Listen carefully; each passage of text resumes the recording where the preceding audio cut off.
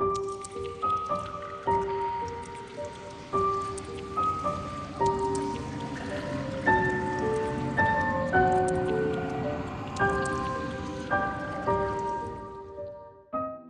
chicos, ¿cómo están? Bienvenidos de regreso a mi canal. Mi nombre es Pame, para los que no me conocen. Y de nuevo, perdón, porque yo sé que he estado ausente ya por varios meses de YouTube. Creo que en algún otro video les comenté que si no traigo casos, si no traigo videos es porque tengo muchísimo trabajo y de hecho es así. Hace poco me cambié de trabajo y la cantidad aumentó bastante. Entonces se me ha dificultado todavía más. Pero eh, en Instagram les pregunté si les gustaría un especial navideño y la gran mayoría dijo que sí. Entonces, bueno, aquí estamos, en un especial navideño. Ya habíamos hecho uno el año pasado, si no lo has visto, te voy a dejar el link por acá y creo que también en la descripción em, fue ocho videos, creo eh, de casos que ocurrieron como en épocas navideñas o en Nochebuena o en Navidad. Entonces, si no lo has visto, te lo recomiendo. Y este año, en este especial navideño, intenté traer casos que fueran menos conocidos. De hecho, este caso que vamos a ver el día de hoy me costó un montón conseguir información, casi no hay, me costó muchísimo. Y me parece súper extraño porque eh, ya, lo van a ver, ya lo van a ver, es un caso bastante impactante que se parece mucho a uno de los casos que les conté el año pasado, del cual hay miles de videos. Del que les conté el año pasado hay muchísimos videos, que creo que se llama mi video como El Santa Asesino o algo así, se los voy a poner por aquí arriba, pero em, este caso y el del año pasado se parecen muchísimo, son completamente diferentes para que sepan. Y me parece sorprendente y lamentable que este tipo de situaciones de las que vamos a hablar hoy pasen tanto, porque no solo el del año pasado y no solo este que les voy a contar existen, existen otros casos similares con esta misma temática en diferentes partes y en diferentes épocas. Entonces es lamentable, la verdad, que se repita. Pero bueno, eh, si este es un video que te gusta o este tipo de contenido te gusta, espero que le puedas dar un like o te puedes esperar al final del video y si te gusta le puedes dar un like. Em, además ustedes ya saben el resto. Si no están suscritos, espero que se puedan suscribir al canal si, si estos son videos o casos que te interesen.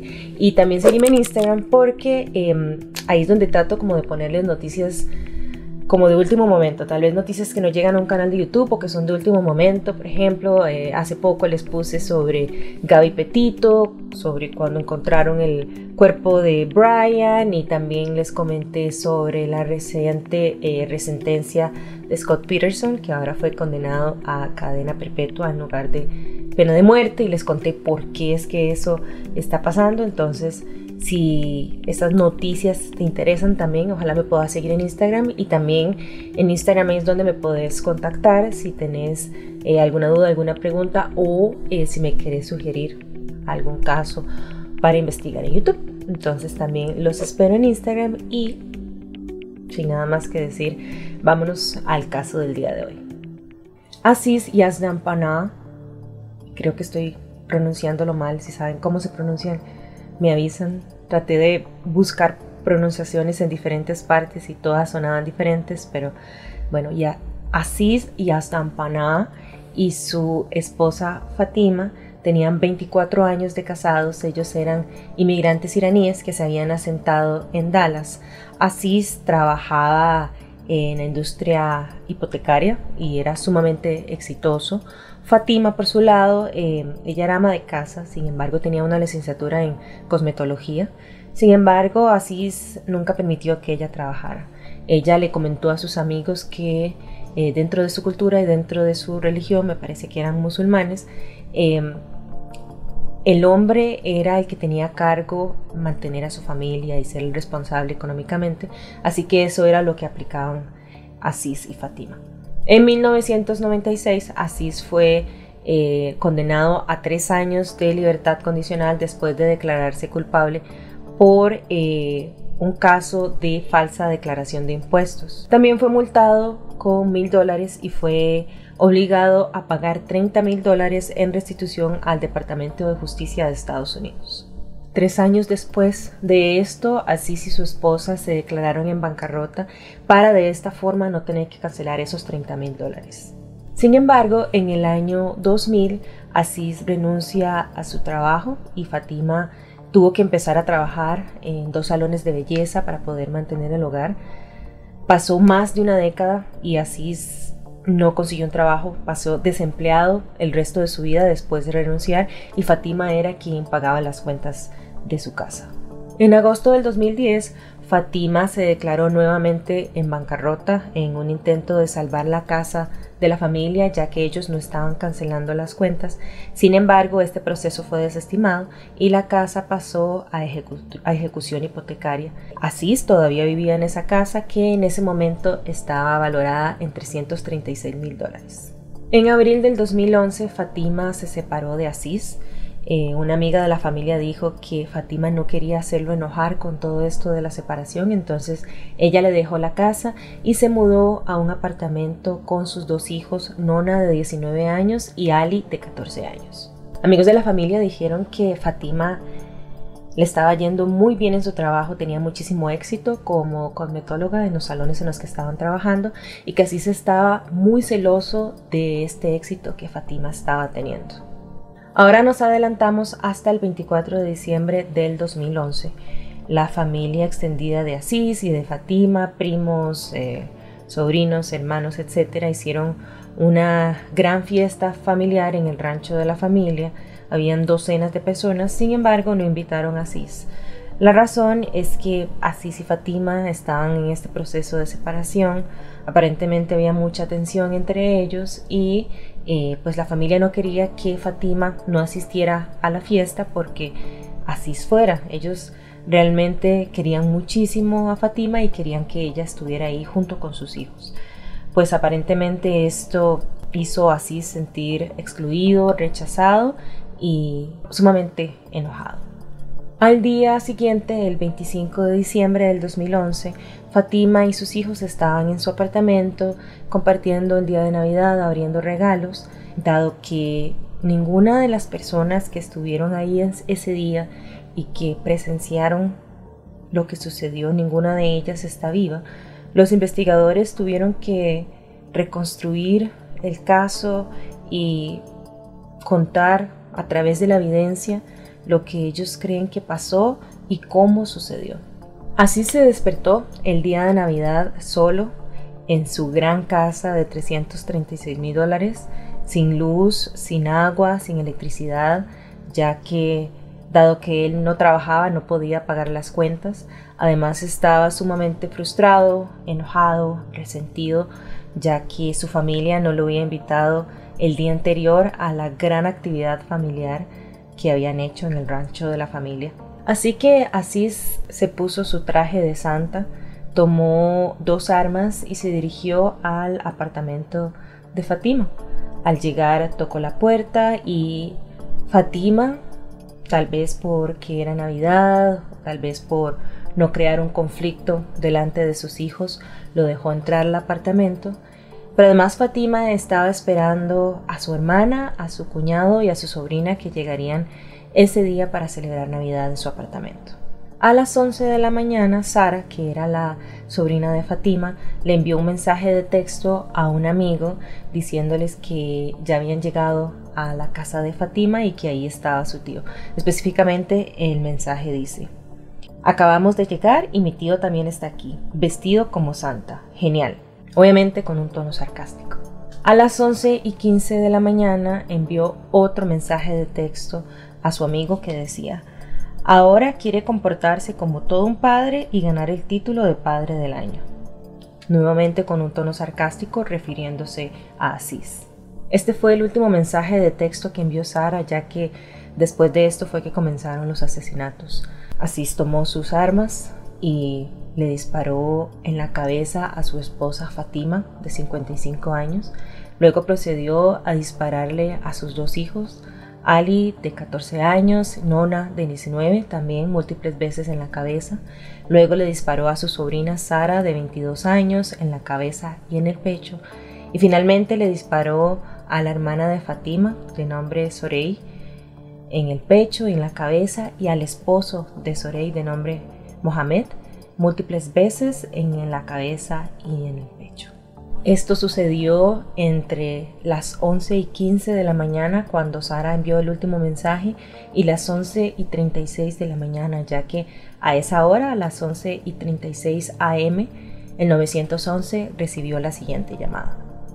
Grapevine 911, where is your emergency? Hello, Grapevine 911. Do you need help? Are you sick? What was that? Do you need an ambulance or police? Hello? One moment. I'm just getting heavy breathing on the phone and I need someone to talk to me, so please send both. Los investigadores utilizaron un software que les permitía escuchar más claramente esta llamada al 911 y ellos indican que en algún momento de la llamada se escucha a alguien pedir ayuda y que después se escucha a alguien diciendo estoy disparándole a la gente. Los investigadores, la policía, creen que esta llamada al 911 fue hecha por Asís. Al terminar la llamada, Asís muy cobardemente toma una de las armas y se suicida. Los oficiales que llegaron hasta el apartamento de Fatima se encontraron con una escena espantosa. Habían siete cuerpos esparcidos por toda la sala de estar, entre regalos y envolturas de regalos. A todos les habían disparado al menos una vez en la cabeza. La policía encontró una de las armas de Asís en la mano de Mohammad, que era el cuñado de Fatima, y ellos creen que Asís intentó incriminarlo para que los oficiales pensaran que Mohamed tuvo algo que ver con los asesinatos. Sin embargo, la evidencia confirma totalmente lo opuesto. El informe de balística dice que la dirección de las balas no coincide con que Mohamed hubiera disparado y además él no tenía ningún rastro de pólvora en sus manos, lo cual indica que él no había podido disparar ninguna de las armas. Ahora, es posible que sepamos por qué Asís intentó incriminar eh, a su cuñado Mohamed. Aparentemente, Asís le había contado a un amigo que él y Mohamed solían mentirles a sus esposas cuando se iban de viaje y em, ellos reservaban unas habitaciones y tenían sexo con prostitutas. Pues aparentemente Mohammad le había contado esto a su esposa Sorey, pero había omitido que él también era parte de ese plan y que él también contrataba prostitutas y le había dicho que era Asís exclusivamente el que hacía esto y Asís considera que primero que todo eso fue una traición porque él reveló ese secreto y segundo piensa que esta fue la razón por la que su esposa decidió separarse de él. Este amigo de Asís también le dijo a la policía que Asís estaba sumamente herido y resentido con la familia, ya que ellos no lo habían invitado a la fiesta de Nochebuena, y que además estaba muy enojado con su cuñada, la hermana de Fatima, ya que él sentía que ella era la que estaba interfiriendo en ese matrimonio. Así que los investigadores especulan que el motivo de estos asesinatos es que así sentía que ya lo había perdido todo, había perdido a su esposa, había perdido a sus hijos, su trabajo, tenía una década desempleado, eventualmente iba a perder la casa, además eh, su familia lo estaba haciendo a un lado, lo rechazaba y no lo invitaba a las actividades familiares. Y finalmente estaba molesto con Mohamed por haberle dicho a su esposa todo este tema de las prostitutas. Lo que sea que estuviera sucediendo en la vida de Asís no justifica lo que hizo, él acabó con la vida de seis personas completamente inocentes. Nadie tenía la culpa de lo que le estaba sucediendo en su vida, principalmente sus hijos. Él asesinó a sus propios hijos vestido de santa, lo cual parece como una película de terror. Y todo para terminar suicidándose, porque asesinó a todas estas personas e igual se suicidó. Bien pudo haber ahorrado todo ese dolor que causó y suicidarse solamente él, sin asesinar a otras personas, pero era un cobarde y decidió primero acabar con la felicidad de su esposa, de sus hijos, de su cuñada, de su sobrina, ya que pensaba que él tenía el derecho de hacer lo que quisiera, pensaba que tenía el derecho de quitarle la vida a otras personas. Y bueno, esto sería todo del caso del día de hoy. Eh, esta masacre o estos asesinatos sucedieron en Dallas, así que también se le conoce como la masacre en Navidad de Dallas. Em, Nada, si esto es un video que te gustó, espero que le puedas dar un like. Además te recuerdo que si este tipo de contenido te gusta, ojalá te puedas suscribir al canal y como te comenté al principio, ojalá también me puedas seguir en Instagram para tener información eh, de último momento de diferentes casos que tal vez no llegan a un video de YouTube. Y sin nada más que decir, nos vemos en el segundo video de este especial navideño. Chao.